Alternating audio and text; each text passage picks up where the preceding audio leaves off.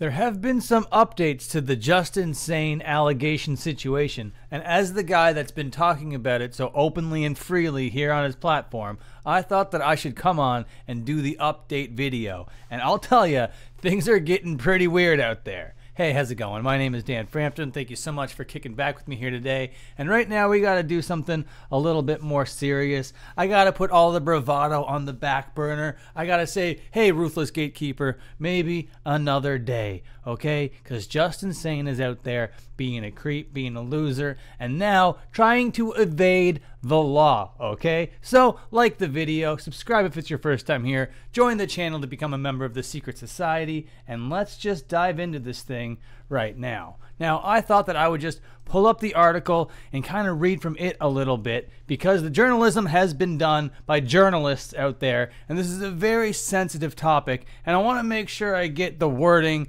uh, the way that it actually is written across here, okay? This comes to us from Rolling Stone, but I got to pay Rolling Stone to get it, so I'm going to be aggregating this story from an aggregator, so take from that what you will. So we're going to go through this article here on exclaim.ca, an article written by Calum Slingerland that came out yesterday, March 21st, 2024. If you're not familiar with this topic, I have a couple in depth videos about it. But basically, what happened was last year, Christina Sarhadi alleged on a podcast that she was abused by somebody in the punk rock community. There was no names named, but given the details in the story and everything surrounding it, it was very clear that it was Justin Sane from the band Anti Flag that she was talking about. And the moment that the podcast dropped and this information came out, the band stopped touring. The band got off the road. The band disbanded, basically. They erased all their social medias and just basically looked as guilty as possible. And then, yes, it was confirmed that it was Justin Sane that she was talking about. And then Rolling Stone came out with this very well done, in depth article where they also got testimonials and stories from other victims of the same person. And that brings us to these developments over here. Let's just jump in. A woman who filed an SA lawsuit against former anti flag vocalist guitarist Justin Sane last November claims the musician is planning to flee the United States to Europe this week. What?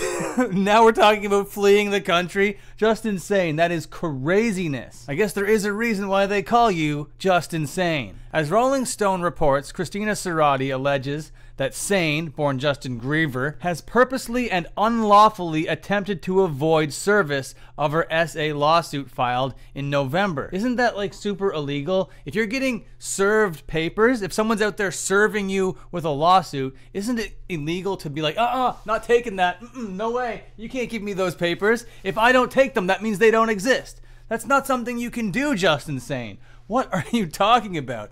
Let's dive back into this article. In a statement regarding her amended complaint published earlier this week, Sarhadi claims that Geever has persistently tried to avoid service of her lawsuit and has enlisted the help of his large and wealthy family in making arrangements to flee the country this week. He has people out there helping him cover these tracks. That is disgusting. We have monsters helping monsters. There is really truly evil out there in this world. This is disgusting. I could be talking about any number of monsters out there right now the Vince McMahons of the world, the Dan Schneiders of the world, but right now, this is a crazy development in this story. Uh uh you can't give me those papers. I'm gonna go somewhere else really quick. What do you mean? It is also alleged that Geever has sold his home in Pittsburgh, Pennsylvania Pennsylvania and has completed a wire transfer of his assets to a bank in Ireland where he maintains a dual citizenship. That is nuts. Furthermore, Christina claims that the singer's family members have rallied to assist his exit strategy, and his sister Mary, a practicing lawyer, has been granted power of attorney in his absence. That is some freaky evil stuff, dog. Not enjoying the way that that sounds, not whatsoever. But you know that like Ireland is still on the planet, right? You might be trying to avoid the legal system in one country, but once you go to another country, there's a whole other process that can happen. You can be extradited or whatever, but you're out here doing a whole like Andrew Tate thing. Just insane. What are you doing? The former bandmates then issued a statement about the allegations, expressing to the singer, fuck you for hurting so many people. Yeah, and that rang so hollow. Sarhadi claims that guitarist Chris Head, drummer Pat Thetic, and bassist Chris Barker have remained silent while isolating themselves from Geever by buying him out of their distribution company or whatever. Despite Anti Flag's celebrated history of activism in support of women's safety and their decades preaching silence is violence, we now know that the band was approached about Geever's predatory behavior at least 25 years ago and did nothing to stop him, Sarhadi writes. They chose their business prospects